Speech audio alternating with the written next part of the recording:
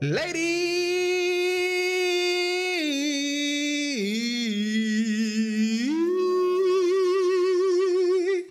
Ladies. I'm getting kind of tired of always hearing about how women say they're settling for us men. It doesn't really make sense to me. Because if every man is settling, that must mean that all women are above all men, right?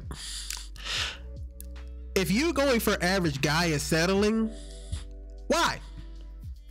And I'm, I'm, I'm, gonna say something that might be a, a, little bit over the top. This may be a little bit of contradictory of what I've said sometimes. I think even the most attractive women, they still get settled for. Because think about this, man. the most attractive women on this planet. We'll just stick with America.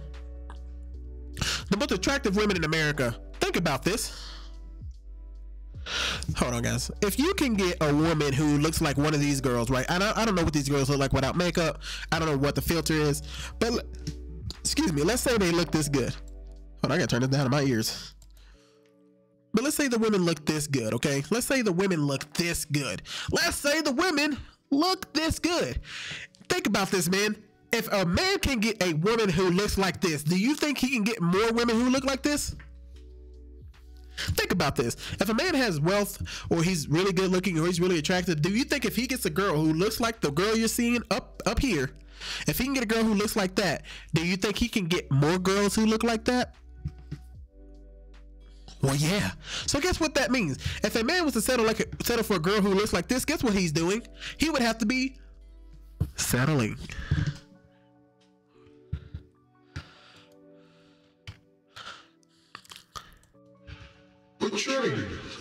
How can that be? How can you settle for a girl who looks that good?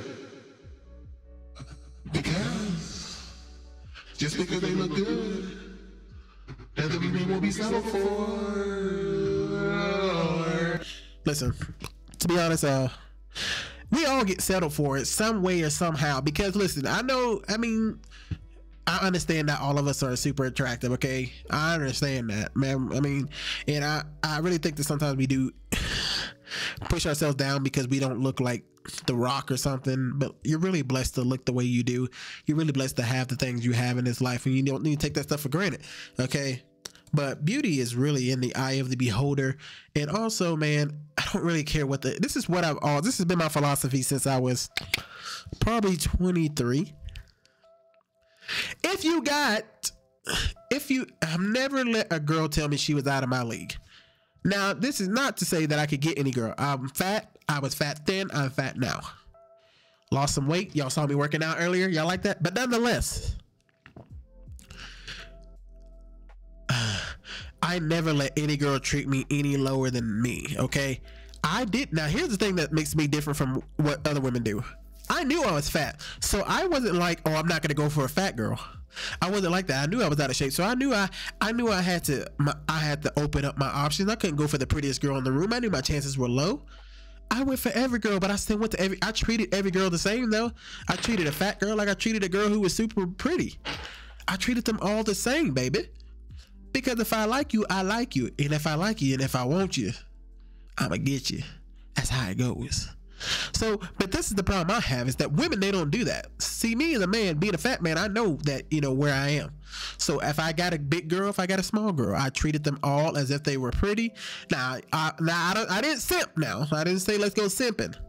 Once I got out of my simp stage, I treated every girl the same, but I didn't let no girl treat me low. You know what I'm saying? I never let any girl tell me that uh, I got to do stuff for her because she looks better than me. I never let any girl treat me lower than I felt about myself. If you don't want to respect me, hey, boy, get the walking. But women don't do this. Not all women. Let's not be dumb, okay? Y'all know what I mean. But women, they don't. They feel like they're settling, and that's why sometimes you get women who treat guys so terrible.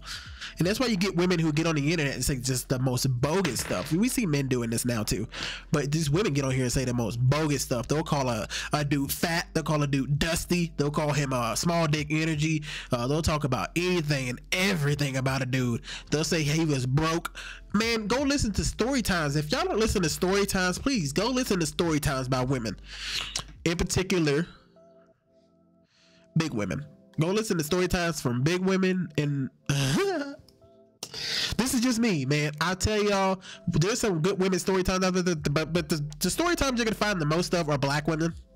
It's just mainly black women and big girls. That's what I see. So go find your go find some story times about some black women and big girls. They tell the best story times, and I mean that sincerely. But I want you to listen to how they talk about dudes in their stories. It is mo- most of the time these women out here they talk about they're single, but go and listen how they talk about men that they, they, they didn't like and then go listen to a story time from a guy who talks about the same thing. You know it's gonna be a big world of difference, okay? Women are gonna talk about men and how they didn't get with him because he was dusty, his house was gross, he was sick, he wanted to do these things with her. The women the women always make themselves feel like they were the prize in the story, like the guy wanted them that bad that they were willing to do anything for her. Is just because she looked good and all this stuff, she's gonna prop herself up. It is not true like that. Like in real life, it doesn't happen like that, dude.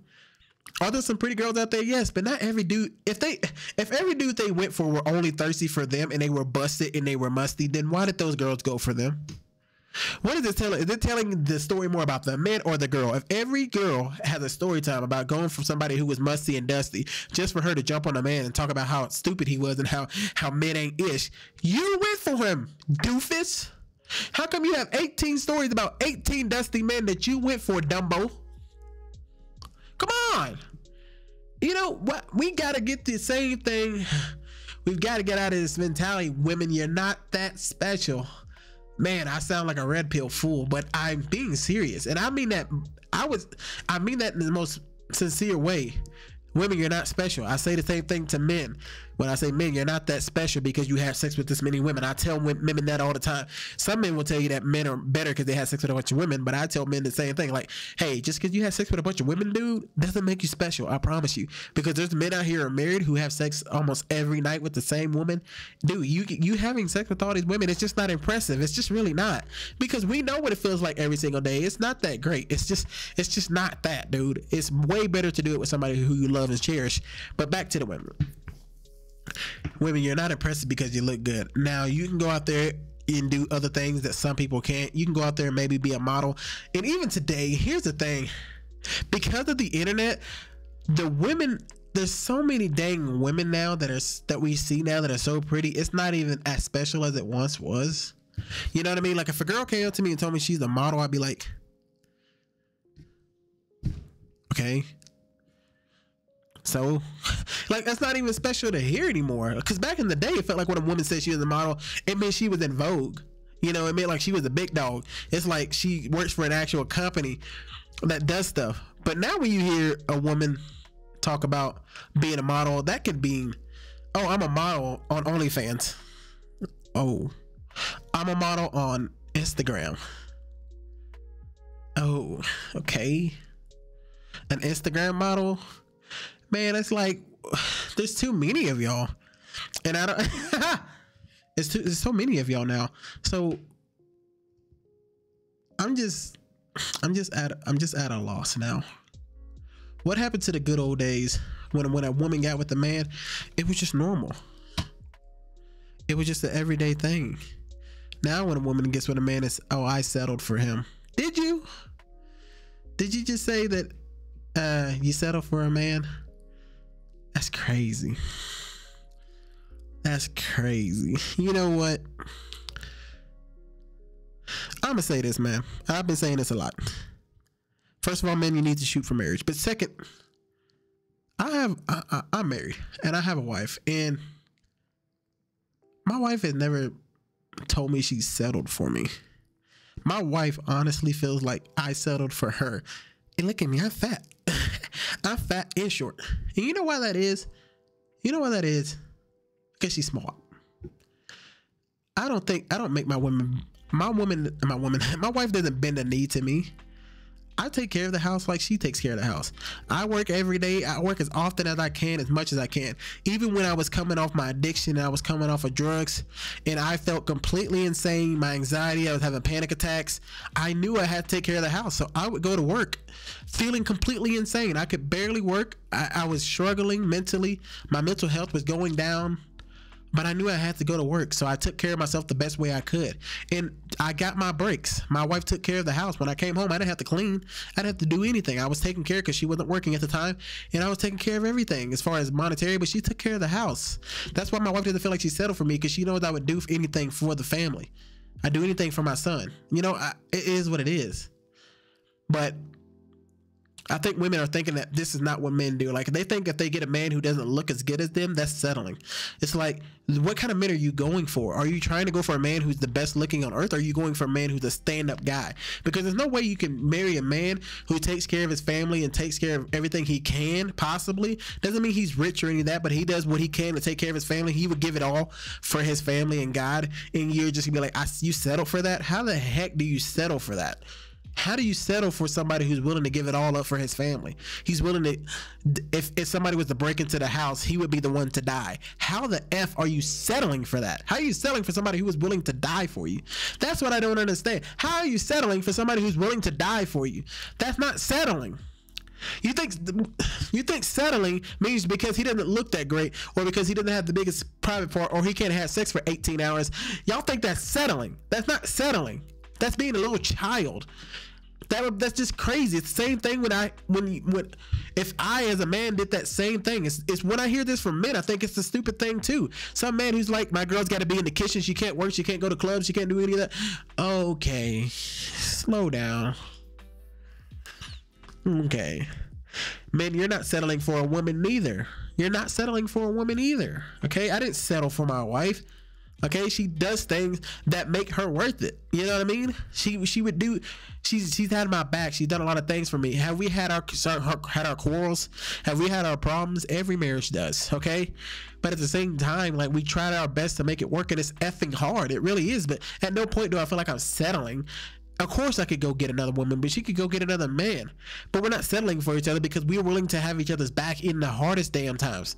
When we, you know, when we lost our son, when we when we went through that tragedy, who else did, who else could we turn to? You know, we turn to ourselves. When life hits you hard, we turn to ourselves. When we were living back in my old town and we were living around criminals and thugs, we only had each other. We only had each other's back. When the police were showing up to our house, who do we have? Ourselves. That's love, bruh. It's not all this feelings. It's not. It's not every day that we get along and everything like that. But that's not settling. That's love. So women, how the heck are you settling? You can't be settling for a guy who's willing to give it all up for you. That's not settling. I'm not saying you got to go for a simp. Oh, sorry, this music is really quiet. I'm not saying you got to go for a simp. And man, I'm not telling you to simp. That's not the same thing. A, a simp is somebody who would be giving you everything and you're giving nothing back that's, that's a completely different story. That's me going to Twitch streams and giving a girl who did, who sat in a hot tub with her butt cheeks out, and I give her money, and all she tells me is "Thank you, babe." That's simping. That's completely different. Giving it all for your woman is her giving it all to you. That's not simping, people. That's called a relationships. What the f- happened to those? What happened to relationships? Damn. I mean, I mean, dang. People really think relationships are the worst thing on earth to have. That's so sad to see because people are so afraid of getting played. Some people, some people are so afraid that something's gonna happen. And you know what? Guess what? I'm, I'm here to break it to you. It absolutely can. You can get in a relationship and they fuck you over. I'm sorry. They screw you. I'm trying to work on my language. You can get in a relationship and they can screw you over. Absolutely. You can get in a relationship and they can cheat. You can get a relationship and it doesn't go your way. That happens. That doesn't mean you shouldn't go for it damn, everybody's not scared to put their face on camera anymore. Anybody would get on TikTok in the middle of public and dance and shake their butt cheeks, or some dude will go jump into a, a donut shop and steal stuff and do all this stuff. Everybody has all the confidence to hop in front of a camera and talk. Why can't you have confidence in a relationship? You know it could all go south. It, it, it could all go south. You can get married and get divorced, but people are just like because of that fact that people don't even want to try because they know it's going to be hard. And, the, the the worst thing is that's really also happening is all these people who get on on the internet who are in relationships and they brag about their boyfriend and girlfriend like they're married. That is insane to me. Just because you got a boyfriend is not the same thing as being married. I'm sorry, honey, but it's not. Dude, if you got a girlfriend, I'm sorry to tell you, just because you call her wifey, it doesn't mean she's wifey. It ain't the same, brother. It's not. It ain't. It ain't never gonna be the same because if it was the same, if it was the same, People wouldn't have fought for marriage for so long. They're saying people who want to be married. I'm black. We couldn't get married back in the day. Why would we fight for marriage if it, if it just meant nothing? It means something for somebody to carry your last name. It's not the same thing as being in a relationship. Trust me. Go talk to people who are married and who are not married. Okay? It's different. Okay? And this is why I'm going to say something kind of bad here. I know a lot of people don't agree with this, but this is my philosophy. I could be wrong. I doubt it though. I I think that people who aren't married or have never been married, now must, if you've been divorced, you I think you can still do this. But if you haven't been married, or if you've never been married or you're not married, you can't give relationship advice. What? How can you? Listen, you can't. You don't know if you've never been married or are married currently. How can you give relationship advice if you don't know how to help? Dang it, Trey. If you don't know how the heck to win the race, how can you give relationship advice? You don't know how to if you don't know how to win the race. You can teach me how to get to the playoffs, but I need to learn how to win a ring. That ain't what I want to do. So stop listening to all these people who say they're settling. They're not. You're not. You're not. So man, if, if a girl ever tells you that she settled for you, leave. Unless you're married. Then you should have seen that stuff coming before you got there. But uh, I mean, if they do it, they do it. You know, you, you got to go through it. But but man, if you're ever dating somebody and they say settle for you, if you even hear them even make that inkling and like they even joke about it, you might have to just put your red flags up because people who say they settle, even if they're joking, man, there's always some truth in a joke. So just be careful, man. Don't ever feel like somebody settled for you, man. If you're willing to give your life for your wife, don't talk. Don't don't tell me that they settled for you. I don't care if you were fat when you got together. I don't care. But if you were broke when y'all got together, I don't give a f. That doesn't mean she settled for you. Okay, being broke doesn't make you less of a man. It just means you got to get some stuff together, and you do. You need to be able to take care of your family. But just because the girl got with you when you were working at McDonald's doesn't mean she settled. You know what I mean? If you're still willing to give, if you're still willing to go to McDonald's every day and work 40 hours a week and flip burgers all day just to make sure that the the lights stay on and the bills are paid and you're working at McDonald's, I still don't see that as settling. I'm sorry. I know some men they disagree, but congratulations. Welcome to the world we live in over here in America. Not every effing body's gonna own their own business and be a CEO. I'm sorry, it ain't gonna happen. There's gonna be some dudes who work at McDonald's. There's gonna be some dudes who work at Walmart. There's gonna be some dudes who work at Little Caesars down the, down on South Street. Okay, it's just how it is. It's okay though. It doesn't make you less of a man. If that's what you, that's what you are, you made some mistakes in life. Now you got to work at Little Caesars, but you work your you work your forty hours and you pay your bills and you pay your car bill, you pay your insurance, and you do what you can to do to keep the family afloat. And you're working your way up to get more money, maybe become a manager, or maybe go back to school or do anything. That doesn't make you less of a man. It doesn't. I'm sorry. And I it, and here's here's my thing. I don't care if you're just a plumber. Oh, not a plumber. Plumber. Uh, I'm trying to think of somebody who makes about fifty thousand dollars a year. I don't know who that is, but if you're only making fifty thousand dollars a year and you only make fifty thousand dollars a year for the rest of your life, that doesn't make you less of a man. If you're doing the, the, the thing that drives me crazy is, is it doesn't make you a failure if you get a job and you're and you just work that job and you're good at that job, but you're still a good person to the community. Like you're going, you're attending, you're doing all the donations you can. You try to get a charity. You show up when people need help. You show up when people need tragedies. You try to be there for your city. That doesn't make you less of a man just because you're not making six figures. Six figures doesn't make you because most people aren't ever going to make six figures. So why would it make you less of a person if you don't make six figures? There's nothing wrong with being average because average people are what make the world run. I'm sorry to tell you that, but average people do help the world run. Okay, it, they do. Okay. Average people are going to be the ones who are working on the roofs, working on the houses. They're going to be the one doing the plumbing. They're going to be the one who's working on electricity. They're your electricians. The ones they're, they're going to be your cashiers. They're going to be the ones who make your food. They're going to be the ones, you know, plowing the fields, getting your vegetables and all that stuff to make sure the grocery stores, are stocked. those are going to be average people. I'm sorry to tell you, just because somebody owns Walmart doesn't mean that they're better than the people who are working inside the Walmart. We all got to work together to make it all run. Okay, so quit saying that you're settling for people because you're not because we all got to work hard in this world not every i've never met that many women who make six figures a year and don't need nobody i'm sorry to tell you that but that's just not true so there's no dang there's no dang way she's settling for every man she comes across i don't care how pretty they are I met very attractive women. In fact, I met a girl in my city now, the most attractive girl by far in this city. Dude, she's just she's just a pregnant single mom right now. Pregnant single mother. That's all she is. Very attractive. She was very attractive. Now she's pregnant, and now she just looks like a regular Joe.